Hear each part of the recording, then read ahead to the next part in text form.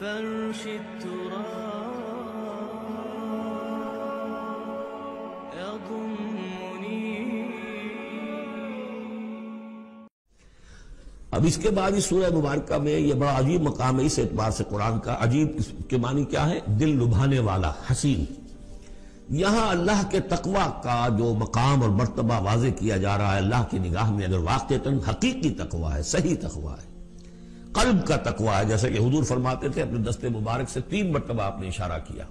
अपने सीरा मुबारक की तरफ़, अतकवा हा होना, अतकवा हा होना, अतकवा हा तकवा यहाँ होता है।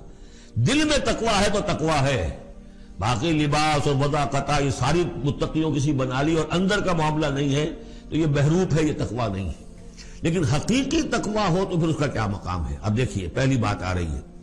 वमन यत्तकिल्लाह यजअल लहू मखरजन जो शख्स अल्लाह का तकवा इख्तियार करेगा, अल्लाह उसके लिए रास्ता पैदा कर देगा। जहाँ बिल्कुल नज़र नहीं आएगा कि कोई रास्ता अल्लाह रास्ता पैदा कर देगा बिल्कुल नज़र नहीं आ रहा था मूसा के साथियों को कि अब कैसे बचेंगे।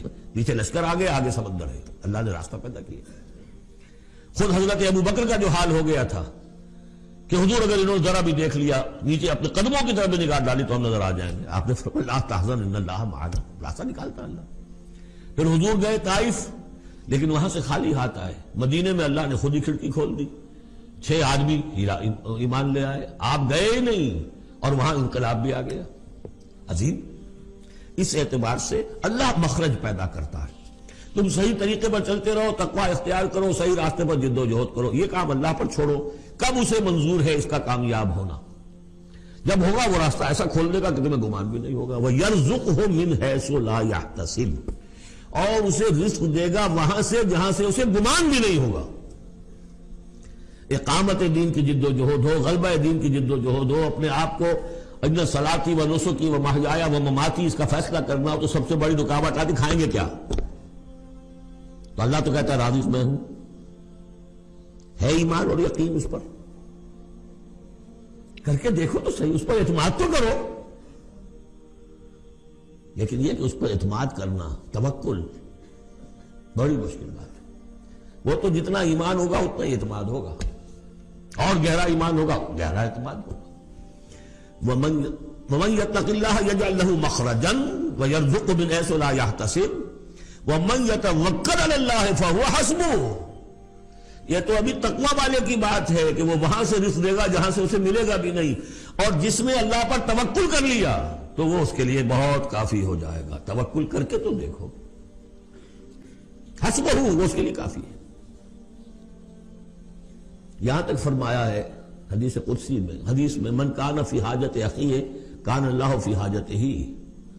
अगर कोई मुसलमान अपने किसी भाई की ज़रूरत पूरी करने में लग रहा है, अपना वक्त सर्फ कर रहा है, अल्लाह उसकी ज़रूरत पूरी करनी शुरू कर देता है। फ़िक्र माँ दर माँ आजार माँ कार साजे माँ बेफिक्र कार माँ ये फारसी शायरी के अंदर ये दीनी हकायक है। कार साजे माँ बेफिक्र कार माँ मेरा कारसाज मेरे कामों की फ़िक्र कर रहा है। मैंने अपने आप को उसके काम के लिए लगा दिया। वो दुनिया में भी जरा सा भी कोई शरीफ इंसान होगा। आप उसके हो जाए, वो आपको छोड़ देगा फिर कहीं। शराफत हो, मरुवत हो उसमें। आप अल्लाह के बनकर तो देखिए। फिर वो कारसाज कारसाजे माँ, बेफिक्रे कारे माँ। फिक्रे माँ, दर कारे माँ, आजारे माँ। जब मैं अपने मामला की फ़िक्र खुद करता हूँ, कोई ना कोई ठोकर खाता हूँ, कोई ना कोई गलती करता हूँ, आजार अपने सर के ऊपर पैदा कर लेता हूँ। अपने आप को हवाले करो। इसका नाम है तफवीजुल अम्र इल्लाह उफव्विदु अम्री इल्लाह इन्नल्लाह बसीरुल इबाद।